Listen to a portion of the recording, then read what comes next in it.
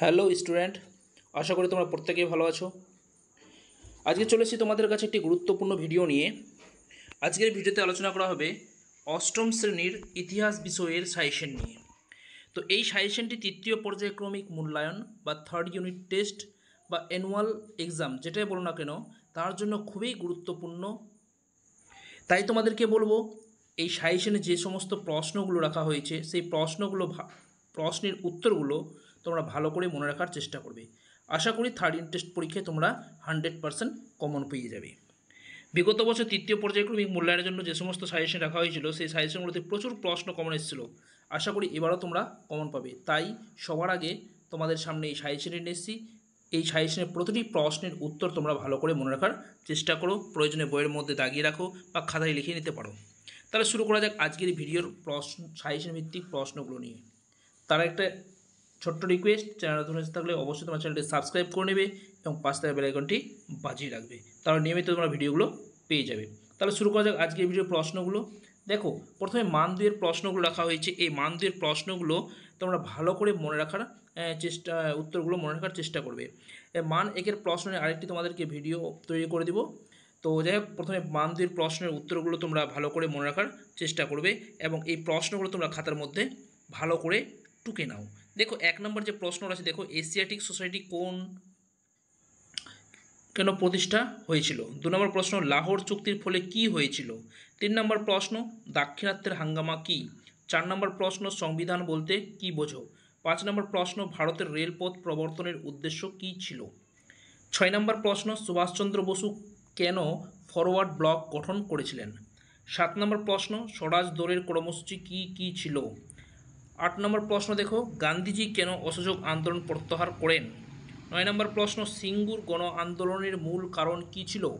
দশ নম্বর প্রশ্ন, লাহোর অধিবেশনের গুরুত্ব লেখো। এগারো নম্বর প্রশ্ন, ইলবার্ট বিল বিতর্ক কি? তারপরে দেখো, বারো নম্বর প্রশ্ন, মহারাষ্ট্রের সমাজ সংস্কার আন্দোলনে জ্যোতিবা ফুলের ভূমিকা কি ছিল? তারপর থেকে তেরো নম্বর প্রশ্ন, লর্ড কার্জনের বঙ্গভঙ্গের উদ্দেশ্য কি ছিল? চোদ্দ নম্বর প্রশ্ন দেখো, রাওলাট আইন কি?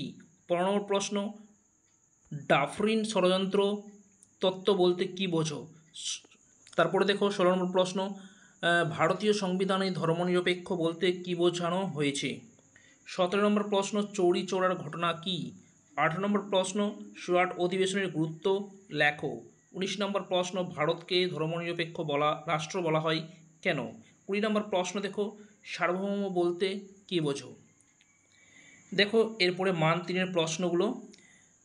তো, এখানে টিকাগুলো রাখা হয়েছে। তো, এই টিকাগুলো তোমাদেরকে গুরুত্ব সহকারে মনে রাখতে হবে। প্রতিটি টিকাতে মান তিন করে থাকতে পারে।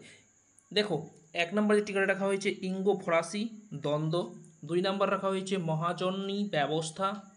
তিন নম্বরে রাখা হয়েছে মেকলের প্রতিবেদন, চার নম্বর টিকা স্বরাজ দল, পাঁচ নম্বরে পাকিস্তান প্রস্তাব, ছ নম্বর মপলা বিদ্রোহ। তারপরে দেখো, সাত নম্বর সত্যবিলোপ নীতি, আট নম্বর জেলা পরিষদ, নয় নম্বর ভারতীয় সংবিধানের প্রস্তাবনা। দশ নম্বর মন্টেগু চেমসফোর্ড সংস্কার, এগারো নম্বর দেখো উডের প্রতিবেদন, বারো নম্বর উইলিয়াম কেরি।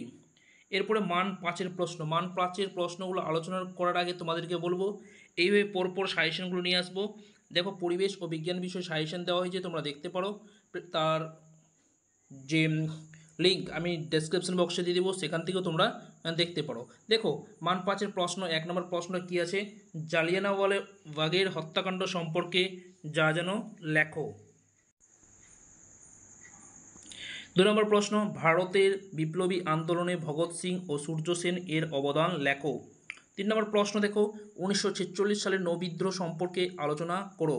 চার নম্বর প্রশ্ন, উনিশশো বিয়াল্লিশ সালের ভারত ছাড়ো আন্দোলন পরিচয় দাও।